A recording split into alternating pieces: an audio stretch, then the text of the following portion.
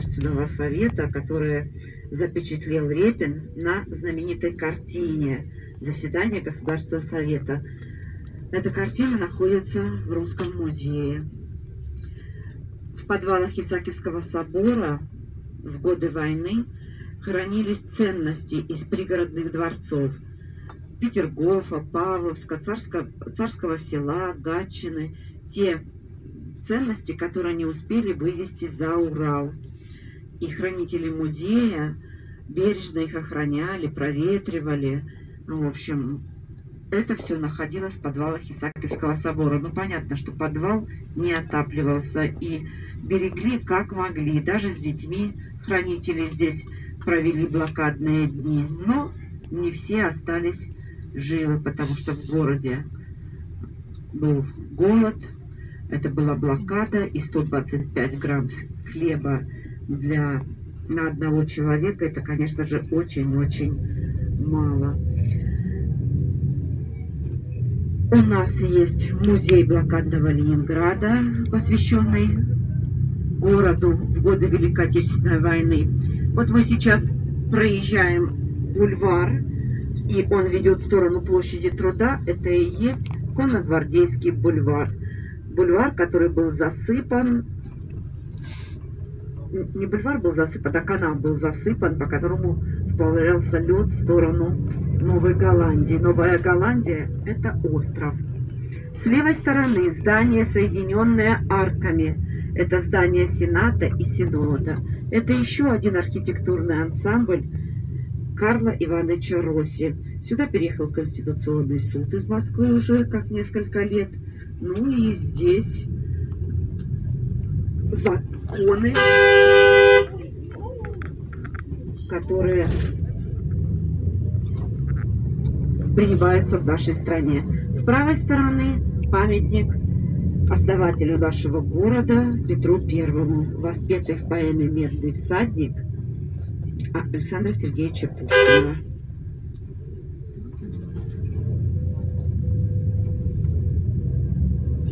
Здание Адмиралтейства с правой стороны, комплекс зданий. И в петровские времена именно отсюда со стапелей спускались первые парусные суда, построенные собственноручно самим Петром Первым. А с левой стороны мы видим памятник Петру Первому, Петр Первый, плотник. Этот памятник был подарен в наше сегодняшнее время королевством Нидерланды на сегодняшний день здание Адмиралтейства размещается ну, весь руководство военно-морского флота. И с 2015 года Санкт-Петербург объявлен морской столицей нашей страны. Дворцовый мост слева, вид на Петропавловскую крепость с золоченым шпилем и с маленьким корабликом-флюгером. Ангел, который охраняет наш город, а мы на Дворцовую набережную переезжаем и проедем уже мимо Зимнего дворца, мимо Эрмитажа. Это все комплекс зданий, который включает в себя музей мирового значения под названием Эрмитаж. Именно здесь, рядом с Зимним дворцом, Екатерина II в Малом Эрмитаже изумруд, здание изумрудного цвета размещает коллекцию, которая была выкуплена в Европе за долги у купца Гоцковского. 225 картин. Именно они и послужили началом и основой той коллекции для Эрмитажа. Малый Эрмитаж.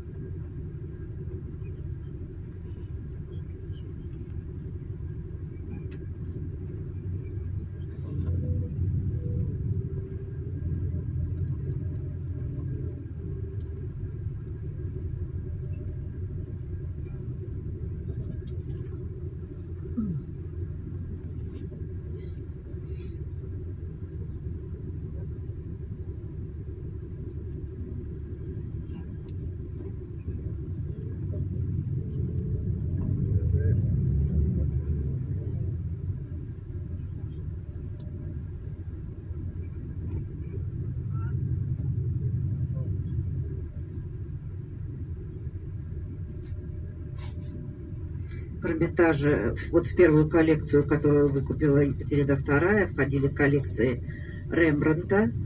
Это «Возвращение блудного сына», это «Даная», это «Святое семейство». Две картины, которые являются шедеврами мирового значения. Мадонна э, Литке и Мадон, Мадонна Литте и Мадонна Бенуа. Это картины Богоматери, написанные самим Леонардо да Винчи. Название этих картин «Мадонна Литта» и «Мадонна Бенуа» – это те люди, которые владели этими картинами и подарили в дар Эрмитажу. Поэтому их по-прежнему и называют Мадонна Литта и Мадонна Бенуа. Это в зале итальянской живописи. Ну, если взять во внимание, что картины эпохи Возрождения Леонардо да Винчи всего насчитывается 14 в мире, и две из них находятся в Эрмитаже, это дорого стоит. Коллекция итальянской живописи, знаменитые голландцы, фламандцы, ну и прикладное искусство. В Эрмитаже зарубежная живопись, все те шедевры мирового значения, а в Русском музее русская живопись. Мы проезжаем мостик, Эрмитажный, зимняя канавка.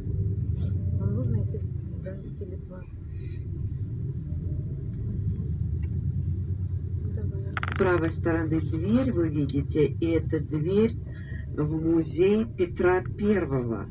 На этом месте был старый дворец Петровский. Его перестраивали и здание использовали, ну, как бы футляр в футляре. Сохранилось лишь несколько окон вот вдоль зимней коня, канавки старого Петровского Эрмитажа. Их можно увидеть, ну, прогуливаясь в этой стороне. Это та историческая часть города, связанная именно с Петром Первым.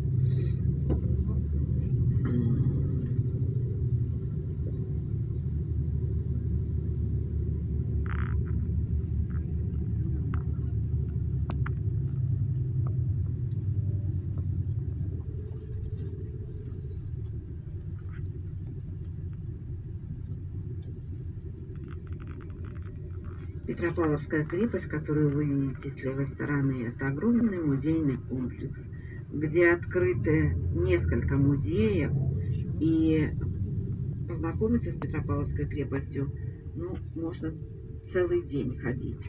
Это и монетный двор, это и усыпальница, собор Петра и Павла, это политическая тюрьма, казематы одиночная, где и Лень, и Ульянов, э, Александр Ульянов был, и Горький, и княжна Тараканова.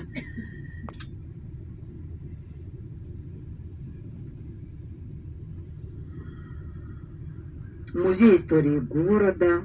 И, конечно же, один из последних памятников, который появился в Петербурге, Михаила Шемякина – Петр Первый в кресле сидит.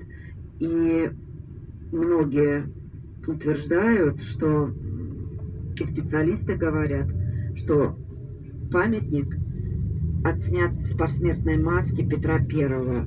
И, конечно, маленькая голова, э, огромные щеблеты, но размер ноги у Петра Первого был небольшой, 37 размер при его росте 2,04. Вы можете себе представить? Э, нога 37 размера. Ну и, конечно же, платья, э, которые хранятся, например, во дворце Марлив в Петергофе. Вот только дворец Марли не могу утверждать, что он сейчас открыт. Там, есть платье с плеч Петра Первого, называется японча. И плечики там такие маленькие-маленькие в этом платье. Ну и платье ручной работы. Конечно же, человек, который строил город, у которого планы были очень большие, и Петербург становится столицей, а замысел строительства города наравне с европейскими городами, повторение Амстердама – тот город, который больше всего был ну, любим Петру Первому, именно Голландия, в Голландии. Ну, широкие улицы, большие проспекты, главная перспектива города. И если вы еще раз приедете в Петербург, то от Адмиралтейства намечены трезубец Еропкина, это значит три луча, которые расходятся э, от э, Адмиралтейства. Один из проспектов Невский проспект, затем Вознесенская улица и Гороховая улица. Еропкин э, был обвинен, это один из первых архитекторов города, он был обвинен в заговоре против Берона при Анне Иоанновне, ну и казнен. Ну а мы поворачиваем направо, и перед вами открывается вид – на знаменитый дворец, название которого Мраморный дворец, его еще называют Дворец Благодарностей. Екатерина II благодарила Григория Орлова за поддержку в государственном перевороте. Заказ выполнял ее придворный архитектор Антонио Ринальди. И единственный случай в мировой практике, когда архитектор ну, надорвался на работах э, в России, он упал с лесу и повредил спину себе, не мог передвигаться. Уезжает к себе домой на родину, в Италию, и Екатерина II пожизненно ему будет платить пенсию до конца дней. Улица, по которой мы движемся, называется Миллионная. Она начинается от Зимнего, от Дворцовой площади, и здесь, рядом с Зимним дворцом, селились самые богатые петербуржцы, начиная с петровских времен. Во дворике мраморного дворца, смотрим внутрь за решетку, вы там можете видеть памятник государю Александру Третьему, царь, которого называют царь-миротворец, это отец Николая II. Памятник, который вы видите, государь на коне, в папахе, он украшал Знаменскую площадь. Это площадь перед Московским вокзалом. На месте павильона метро «Восстание» находилась Знаменская церковь, и площадь называлась Знаменская. И посреди э, площади был установлен памятник, это в 1907 году. Но так получилось, что когда пришла, пришли к власти э, советы, праздник, э, памятник был упразднен и его перенесли сюда, во дворик мраморного садика. А спустя некоторое время, уже после войны, место памятника занял обелиск, посвященный 35-летию Победы, обелиск Алымова. И когда вы выходите из Москов... здания Московского вокзала, то перед собой вы видите этот обелиск. Его еще объезжают многие, ну, весь транспорт наземный, который идет в сторону Александра Невской лавры или э, с обратной стороны в сторону по Невскому проспекту. А памятник государя, государю Александру Третьему был перенесен сюда. Это именно его слова, которые и сегодня актуальны. У России могут быть только два союзника, ее армия и флот. Государь умирал тяжело, умирал в Ливадии.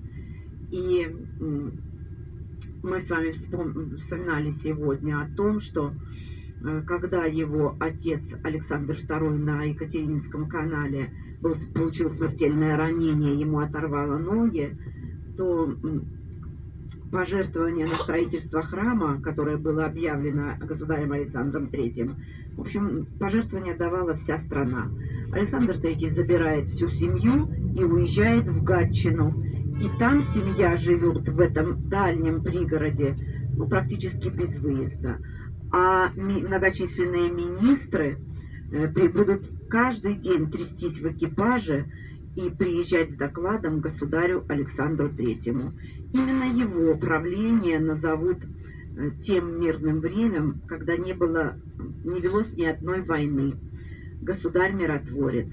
Но однажды в 1888 году, 90, 1898 году семья царская возвращалась из Крыма.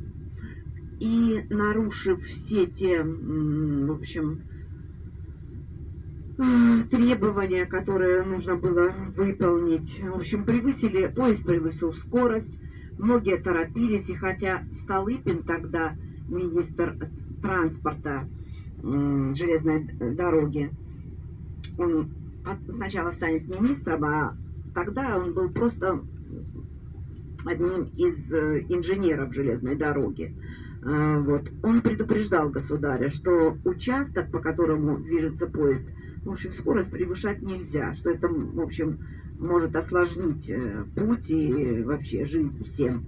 Но к, нему, к его мнению никто не прислушался. И когда на участке э, вблизи Харькова станция Борки поезд, превысив скорость, сошел с рельс, то произошло крушение. Государь, царская семья тогда находилась в вагоне-ресторане.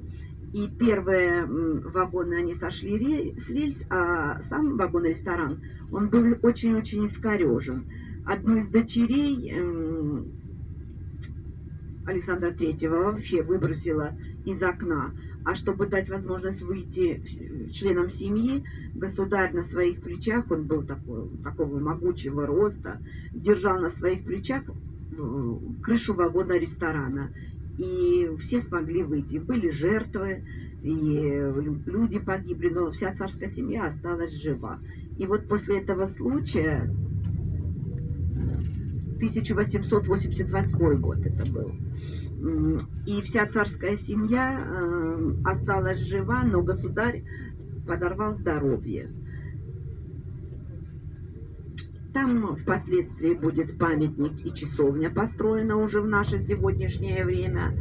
А так как у государя были больные почки, в общем, он начал потихоньку, ну, практически увидать. И уже в 96 году, вот уехав в Ливадию, доктора сказали, что надо к морю, что государь должен поправиться. Но ну, это там, в Ливадии, он и умирает. А в это время Николай II едет со своей невестой Алекс, едет в Россию. И уже из Ливадии они едут, в общем, сопровождая гроб государя Александра III сюда, через всю Россию. Каждый город выходил проститься с государем. И вот э, такое наследие достается именно Николаю II. Похоронен был государь э, в Петропавловской крепости, а вот матери Николая II и э, жене Александра III ей через Крым на английском корабле, в общем, удалось покинуть Россию.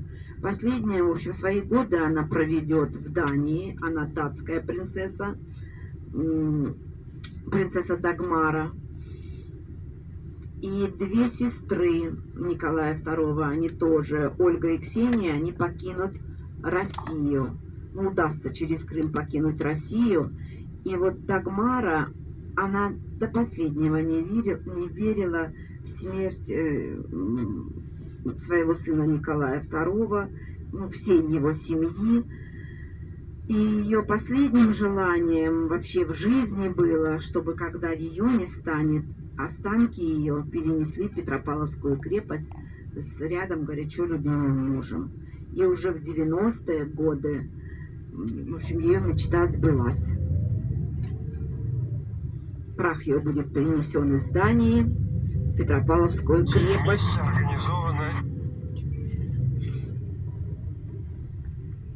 Ну а мы с вами рядом с памятником генералиссимусу Суворову. Суворов в образе бога, бога войны Марса, Марс бог войны. И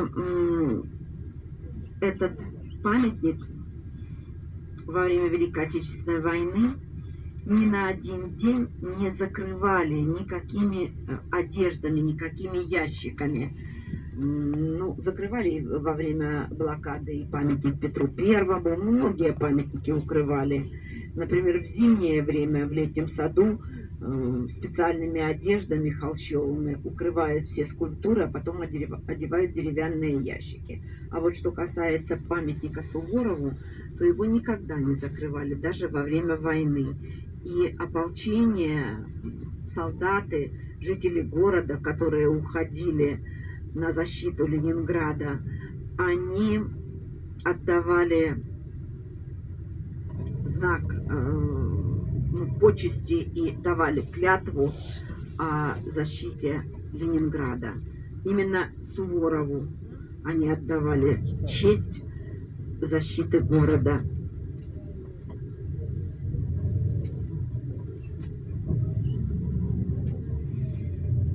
Ну вот, мы покидаем центральную часть города, выходим на Троицкий мост. Петропавловка с левой стороны, а мы повернем направо и поедем по Петровской набережной, мимо вот этого красивого корабля. Это корабль э, ну, выполнен уже в наше сегодняшнее время, но напоминает э, те первые корабли голландские, которые начали торговлю э, с Россией в петровские времена. И по легенде, которая дошла до наших дней, именно капитан этого корабля, такого же корабля голландского, сумел пройти все кордоны и вошел в Петербург. И именно капитана этого корабля Петр I щедро-щедро наградил. А тот в ответ ему и говорит, ну а чем же я смогу тебя отблагодарить за такие щедрые подарки? И Петр I ответил, отправляйся в Европу и расскажи, что на берегах Невы новый город под названием Санкт-Петербург. Санкт-Петербург – столица России. И вот такой корабль занял место здесь, на Петровской набережной. Мимо часовни во имя Живоначальной Троицы. И за серым забором впереди, впереди, за реставрационными одеждами и за высокими липами в глубине здание из красного кирпича. Это красные хоромцы. Красный кирпич – это футляр – под фультляром первая деревянная постройка нашего города, домик Петра. Там сейчас ведутся реставрационные работы. Это обыкновенный сруб, который солдаты Петровского Петра Первого срубили жилище для государя буквально за несколько дней. Красные хоромцы. А чтобы сохранить эту деревянную постройку, при Екатерине II одели в каменный футляр. Вот и получились красные хоромцы. А мы поворачиваем налево, и перед нами открывается вид на крейсер номер один. Крейсер «Аврора». Здесь сделали велосипедную дорожку, и поэтому остановка вот по ходу, как мы едем, здесь не разрешается. Но в самостоятельном порядке вы можете здесь побывать, доехав до финляндского вокзала. Финляндский вокзал у нас справа. А, вот. И посетить крейсер. Крейсер прошел реставрацию в Кронштадте и на вечной стоянке теперь напротив Нахимовского училища. Морское училище имени Петра Великого в прошлом, а после Великой Отечественной войны стало Нахимовское училище для тех детей, которые потеряли э, родителей, кормильцев в годы Великой Отечественной войны. С правой стороны Самсоневский мост. Мы по нему и проедем с вами.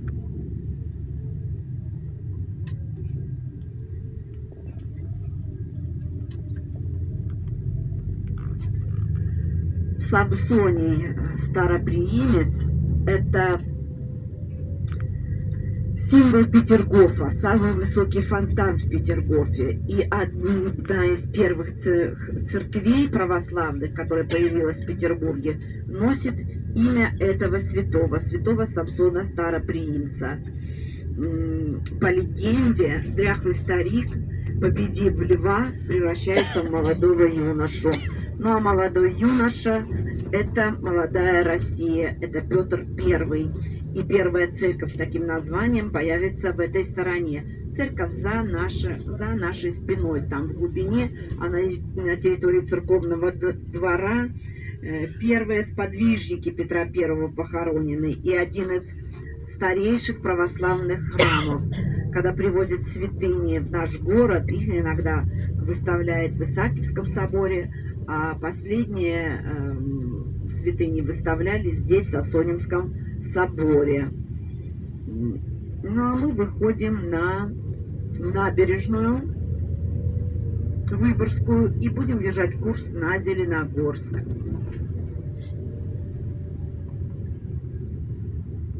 Посмотрите, Аврора уже у нас с левой стороны. Нахимовское здание Нахимовского училища напоминают мозг корабля Петровского времени. И мы с вами, нам бы выйти из города благополучно, и мы с вами держим курс на Зеленогорск. Впереди с левой стороны Петроградская сторона видна башня телецентра. Ее высота 300 метров, плюс 16 метров антенна. И мы движемся в обратный путь.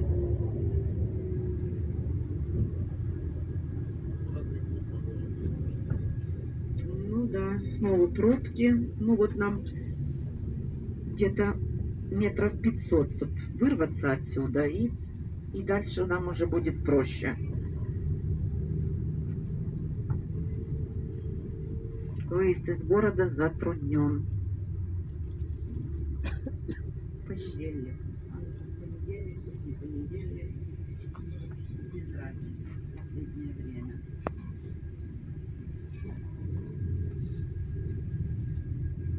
Поэтому так и важно выехать в город. Не забудьте подписаться. Иногда выкладываю что-то интересное. Всего доброго, спасибо за внимание.